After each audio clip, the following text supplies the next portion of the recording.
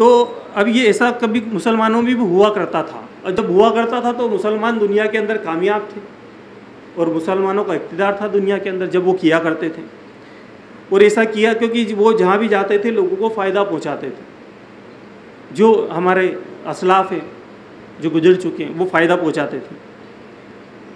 जिसे अल्लाह के रसूल वसल्लम ने फरमाया कि, इल्म हासिल करो, चाहे चीन जाना पड़े।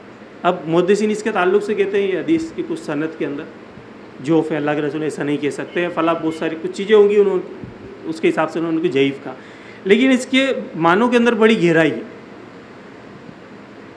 और इसके ताल्लुक से मिलता भी है कि फिर साहबा ने वैसा किया भी।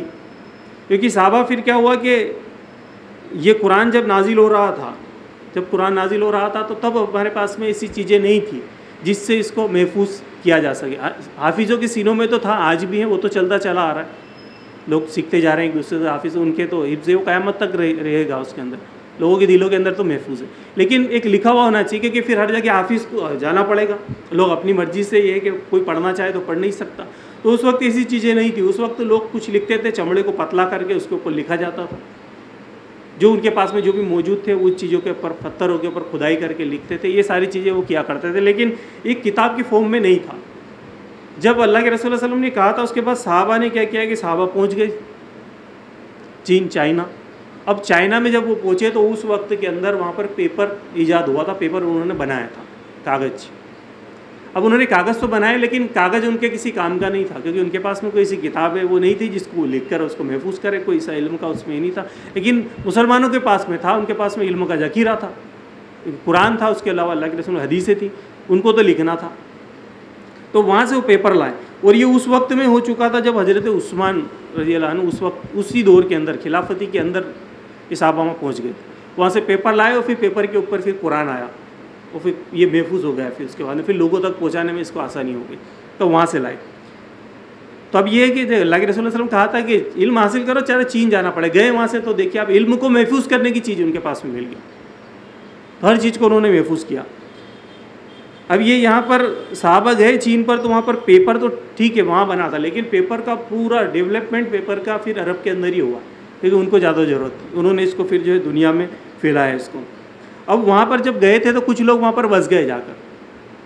मुसलमान ऐसे भी कहीं कहीं पर ज़रूरी नहीं कि हर जगह गए और हुकूमत कायम की, या इसलिए गए हों। कई लोग गए भी वहाँ पर और फिर उनको वहाँ पर आबो हवा अच्छी लगी तो वहीं पर बस गए।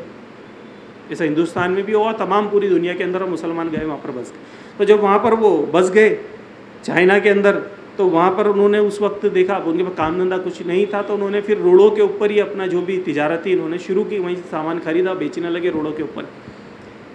तो वहाँ से तरक्की करते चले गए। तरक्की की तो फिर उन्होंने दुकानें लगा ली। दुकानें क्या? फिर उसके बाद में बड़े बड़े उनके शोरूम टाइप हो गए उस वक्त में जो भी था। यानी कि वो जो चाइना के लोग थे, उनसे बड़े कारोबार इनके हो गए।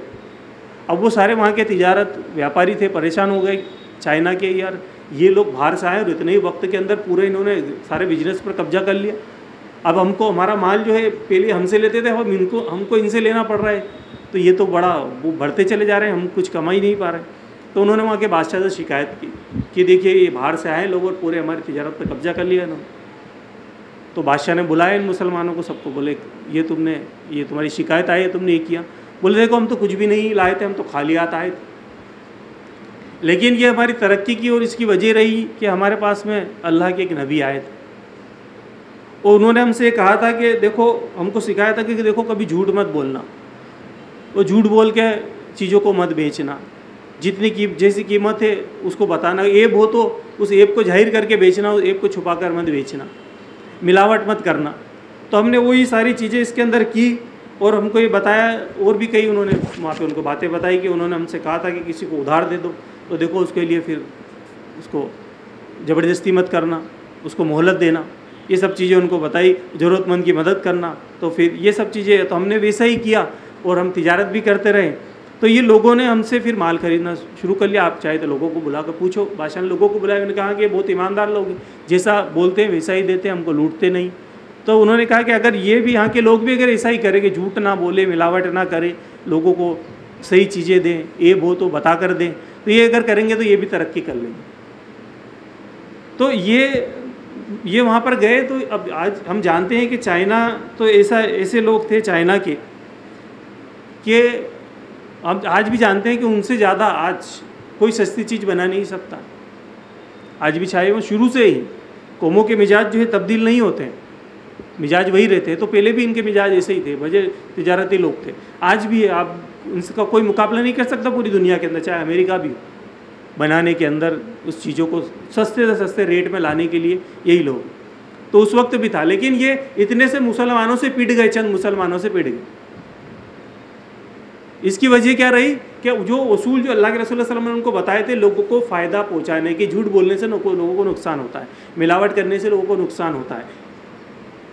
चीज़ों को एक बताकर तो ये लोगों क्या कर रहे थे? फ़ायदा पहुँचाया तो फ़ायदा पहुँचाए तो अल्लाह ने इनको तरक्की दी, चाहे उस मुल्क के अंदर जाकर दी नहीं तो उनका मुकाबला तो आज भी कोई नहीं कर सकता तो वहाँ चंद लोगों ने ये कर दिया। तो किसकी वजह से हुआ? क्योंकि लोगों को फ़ायदा पहुँचा रहे थे।